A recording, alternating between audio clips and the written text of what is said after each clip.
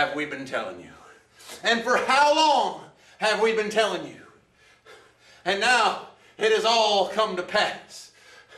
There officially ain't nobody left to take these tag team title belts off the Forsaken.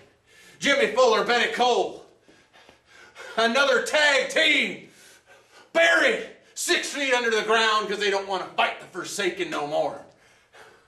Every tag team who comes face to face with the Forsaken meets a gruesome end if I tell you what. And now, Magnum, who's it gonna be? Who's it gonna be, Magnum? You ain't got nobody.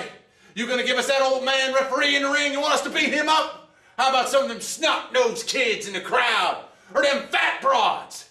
Huh. I thought so. You ain't got nobody, Magnum. Nobody to fight the Forsaken. Nobody to take the tag team gold away from us. We are your tag team champions. That's how it's gonna stay. You got no choice. You got no alternatives. We are the best. We've proven it time and time again. Learn to live with it.